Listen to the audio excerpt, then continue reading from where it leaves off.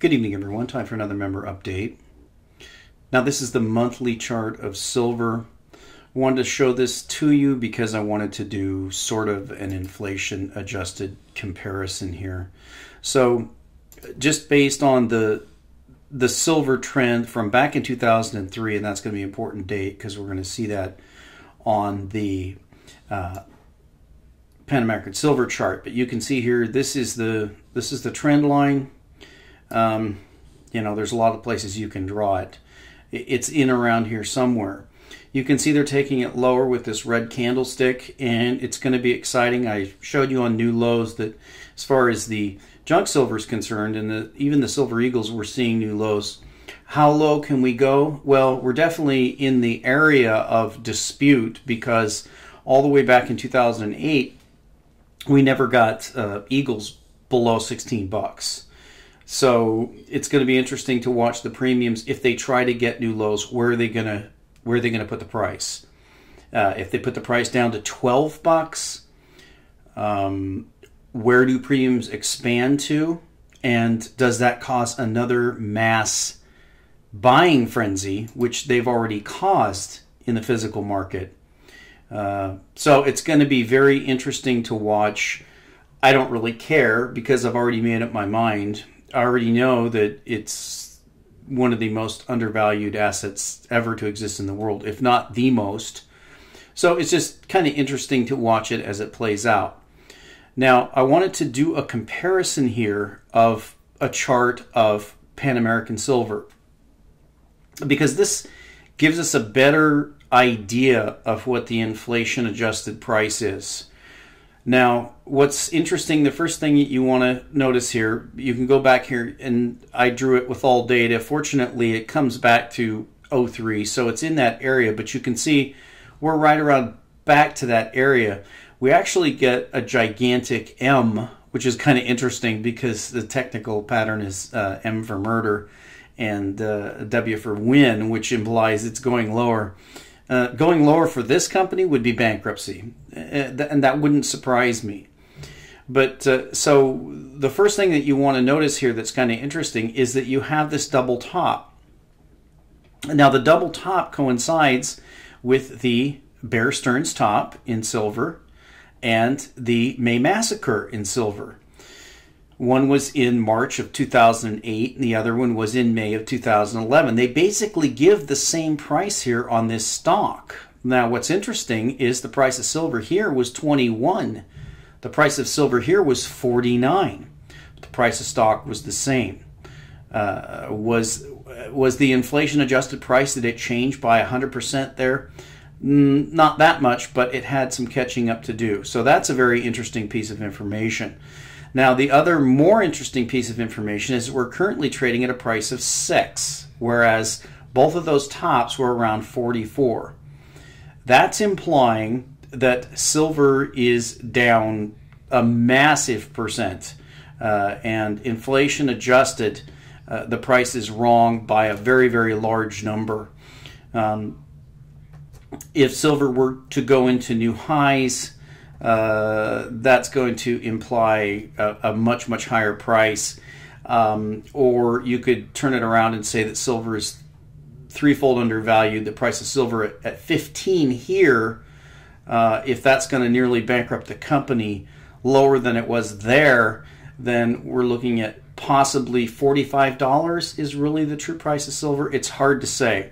So the suppression goes on. It's really just kind of like a soap opera that we want to watch to see how it turns out. We know that it's going to turn out really bad for the bankers in the end, and uh, we're going to see some of the desperation of the bankers when we look at uh, this dumb Dimon thing. But first, I want to look at this Martin Armstrong thing. Now, Martin Armstrong is getting hammered from all sides it started with Bill Holter, but there have been a lot of people who've wondered about Martin Armstrong for quite some time. M- Martin Armstrong kind of seems like a guy that cut a deal and he can tell the truth about a lot of things. Now, we've had a lot of discussions about that.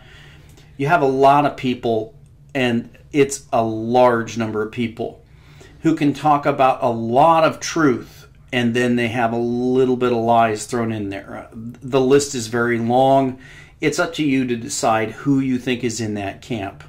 I'm going to tell you, I'm not in that camp, but it's up to you to decide whether I'm in that camp or not. But certainly, in my opinion, people like Alex Jones and Mark Dice, and many, many people, in my opinion, certainly Martin Armstrong, many, many people in the alternative media have made some kind of deal with the powers that be. And they're allowed to say a whole bunch of things that are true, but they have to deny or lie about certain things. Now, it seems here that Bill Holter has, has just caught uh, Martin Armstrong in just a blatant lie.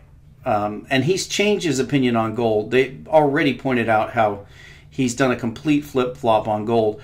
But this one, where he actually says that gold was devalued in 1934, which is the exact opposite of the truth. It's something that's really hard to understand how somebody could get that wrong.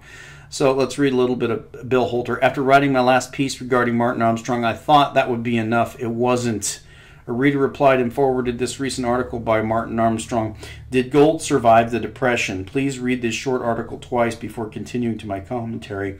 I had to read this twice myself because the first time through I kept saying, huh? The second time through, I could say is what?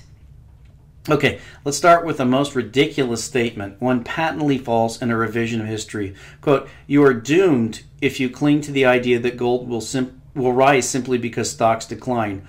Gold was devalued in 1934 since gold was money.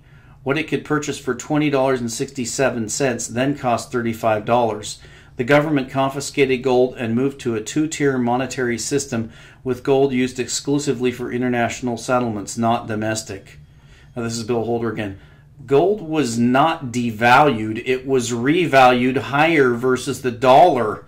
So, therefore, the dollar was devalued. Another way to say it is the dollar was devalued versus gold. This is fact. He then said what it could purchase for $20.67 then cost $35. Really, Martin? Don't you mean the $20.67 that used to be required to purchase one ounce of gold then cost $35 or 70% more dollars?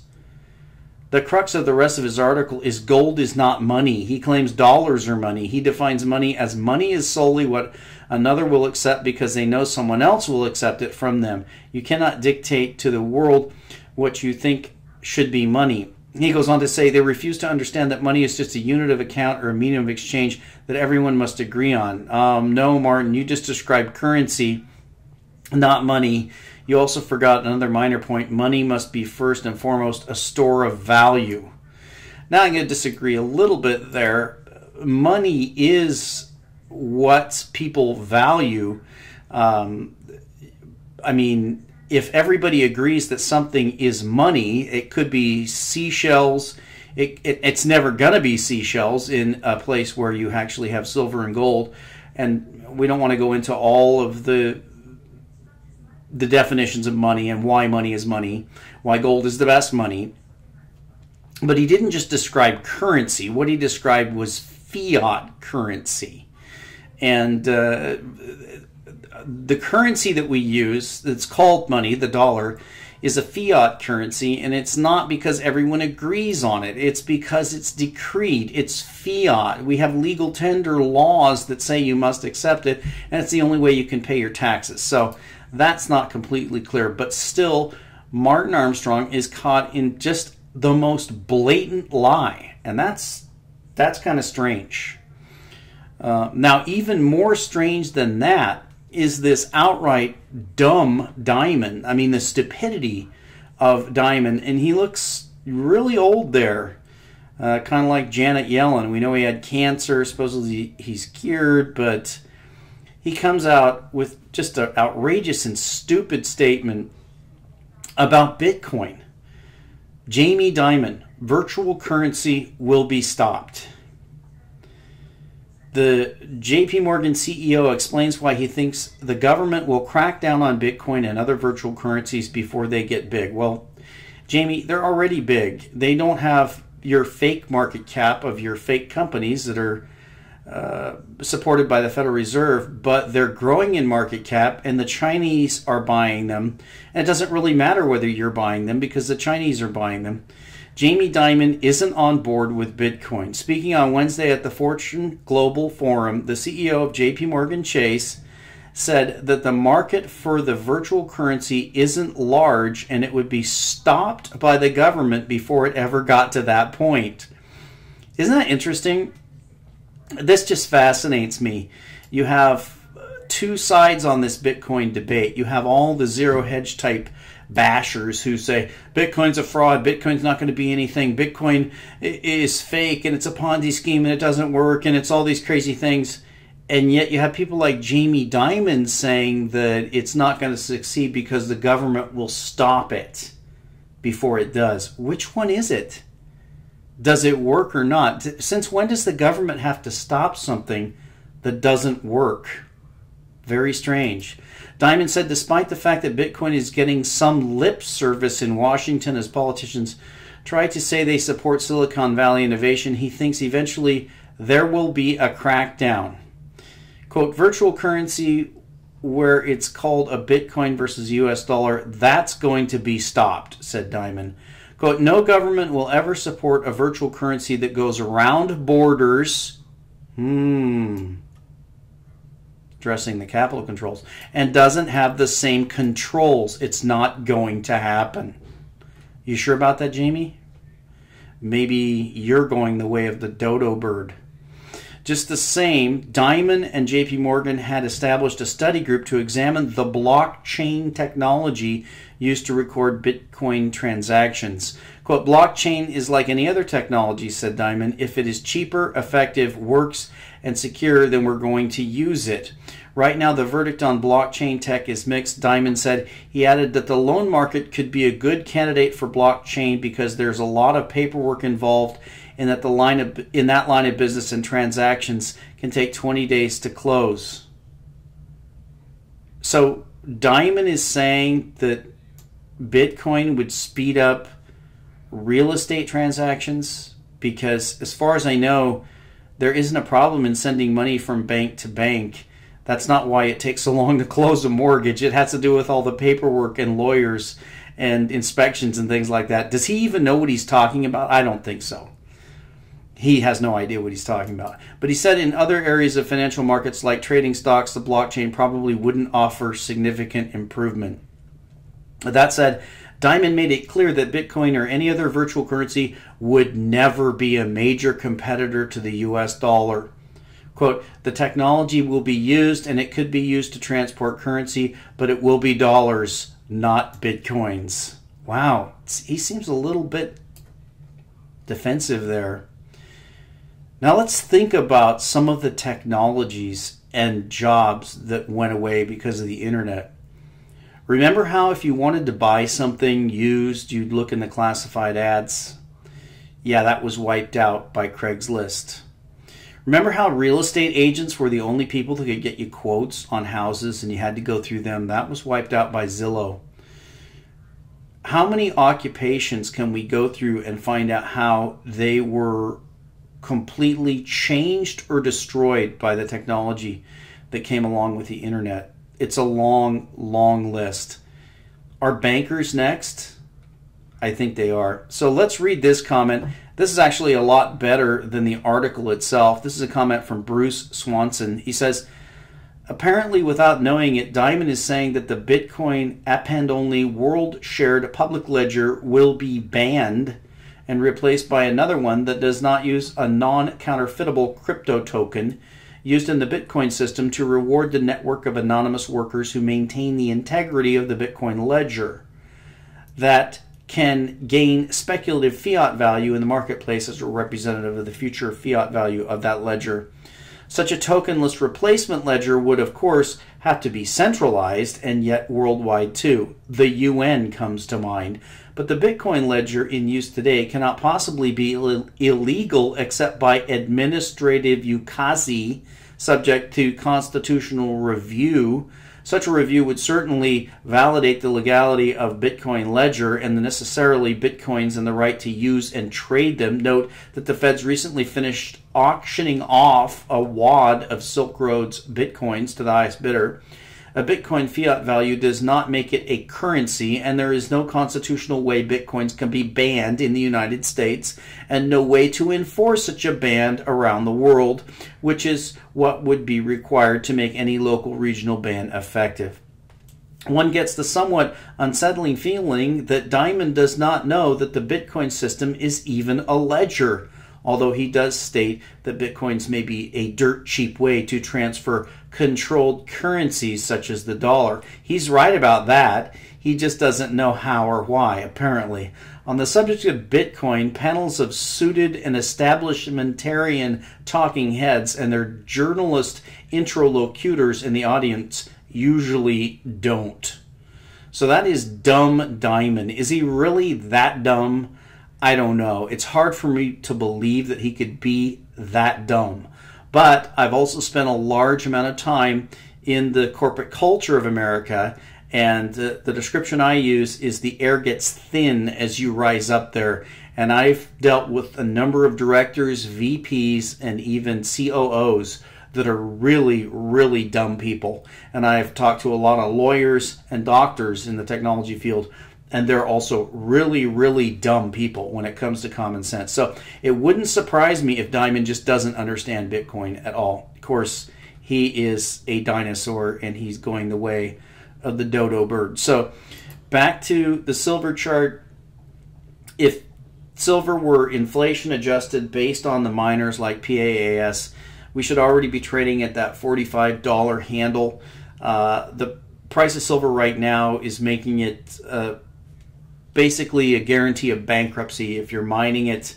Um, we're back to 2003 prices, and of course, 2003 was the beginning of this very, very long bull market. So you should consider this the most incredible gift. Uh, a lot of people have gotten into the Bitcoin space lately. I personally have not been buying since there's been a run up although I am buying on the dips, I, I did convert a lot of my cryptos to Litecoin because Litecoin, uh, we'll go ahead and pull up the chart here.